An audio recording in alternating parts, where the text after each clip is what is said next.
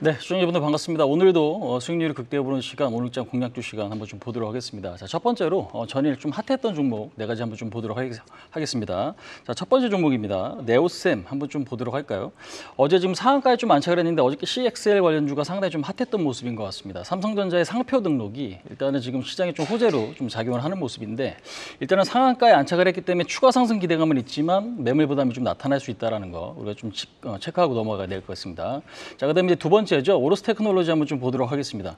국내 유일 overlay 계측 장비가 over, 어, 오로스 테크놀로지인데 중요한 건 반도체 회로 배열을 검사하는 장비가 오로스 테크놀 아, 그 overlay 장비거든요. 근데 이제 요거에 대- 대해서는 국내 유일의 기업이다라고 좀 말씀을 어, 드릴 수가 있을 것 같아요.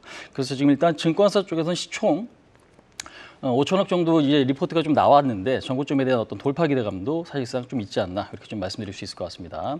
자, 세 번째입니다. SBS인데요. 어제 장중 14%까지 급등을 했습니다.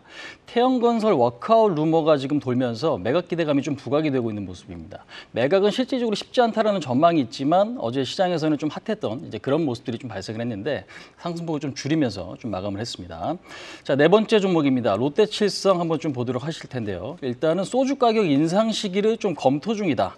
근데 이제 아직까지는 그걸 이제 확정 짓지 않았다라고 하는데 인상이 될 것 같은 이제 요, 요 흐름에서 기대감 요인이 좀 있는 것 같습니다. 그래서 일단 소주 매출 비중이 한 45% 정도 좀 달하는 만큼 이번에 어떤 인상이 좀 이루어지게 되면 실적에는 좀 긍정적으로 작용될 가능성이 상당히 좀 높지 않을까 이렇게 좀 말씀드릴 수 있을 것 같습니다. 자, 두 번째 개장 전 체크 포인트 한번 좀 보도록 하겠습니다. DS 단석 공모 청약이 오늘부터 이제 내일까지 좀 진행이 됩니다. 올해 유, 어, 마지막 IPO죠. 어, 마지막 IPO 종목인데 어, 중요한 부분들은 최근에 IPO 되는 종목들의 흐름을 보면 굉장히 급등하는 모습들이 좀 나타나고 있습니다. 그래서 아무래도 경쟁은 좀 치열하지 않을까라고 좀 생각이 들어요. 근데 이제 뭐 배터리 recy, recycle 아니 플라스틱 recycle 이 사업이 좀 영위하고 있는 만큼 기대감 요인도 좀 충분하기 때문에 오늘부터 좀 시작이 된다라는 걸 확인하실 수가 있겠고요. 자, 그다음에 이제 두 번째로 한국과 IMF가 공동으로 국제 컨퍼런스를 좀 개최를 하는데 오늘부터 내일까지입니다. 근데 이제 6년 만에 좀 개최가 되는 거고 여기서 지금 나올 수 있을 만한 내용들을 보면은 CDBC, 그러니까 지금 중앙은행 DH 화폐에 대한 이야기가 조금 나올 것 같아요. 그래서 일단 관련주는 우리가 좀 오늘 좀 체크해 보셔야 될 것 같기 때문에 탄력이 굉장히 좀 있거든요. 그렇기 때문에 이 부분도 같이 어, 체크를 어, 해 보시면 좋을 것 같습니다. 자, 일단은 지금 세 번째로 솔트룩스 유중 물량이 오늘 상장 예정입니다. 67만 주인데 어, 규모가 그렇게 크진 않습니다. 그래서 일단 AI 관련주 솔트룩스에는 요것 때문에 추세가 좀 바뀌는 그런 흐름은 아닐 것 같고 전반적인 업종의 흐름에 좀 주목할 필요가 있지 않나 그렇게 좀 말씀을 드릴 수 있을 것 같습니다. 자, 세 번째로 이제 공략주를 한번 좀 보도록 하겠습니다.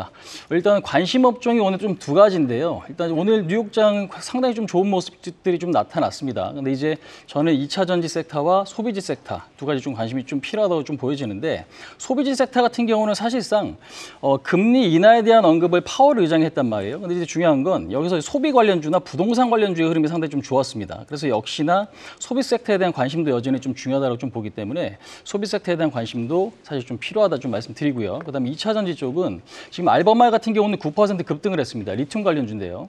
일단 이 부분도 상당히 조금 긍정적이고 그다음에 이제 불량한 업체도 우리가 좀 잘 보셔야 될 것 같은데 일단 전반적으로 봤을 때 2차 전지에 대한 부분들은 어떤 금리 인하 수혜 기대감도 있고 최근에 이제 상품 가격이 어느 정도 좀 하락을 어, 마무리했다. 근데 거기서 이제 기술적 반등을 좀 기대하는 모습들도 어, 나타날 수 있지 않나 그렇게 좀 말씀드려보도록 하겠습니다. 그러면 저는 오늘 어떤 종목을 좀 말씀드리고 싶냐면 2차 전지에서 애경 케미칼을 여러분들께 좀 소개를 시켜드려보도록 하겠습니다.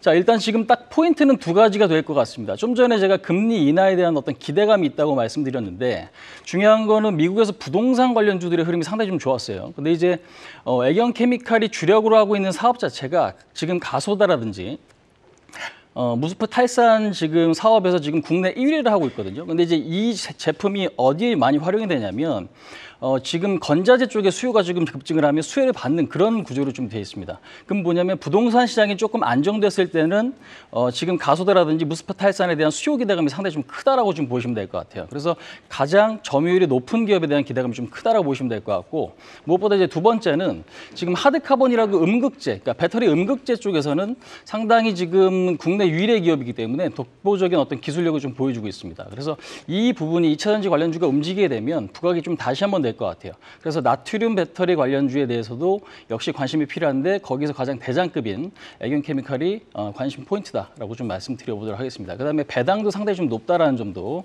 같이 체크를 하시면 도- 좋을 것 같습니다. 그래서 일단 목표치 같은 경우는 오늘 어, 13,900원 정도 저항을 어, 좀 체크를 하시면 될 것 같고요. 손절 라인은 11,800원 정도 좀 잡고 대응하시면 어, 오늘 시장에서는 상당히 조금 매력적인 종목이 아닌가 이렇게 좀 설명을 드려보도록 하겠습니다. 자, 이 정도까지 좀 설명을 어, 마치도록 하고요. 저는 이만 좀 마치고 오늘 성투하시기 바라고 전 내일 아침에 이 시간에 좀 뵙도록 하겠습니다. 수고하셨습니다.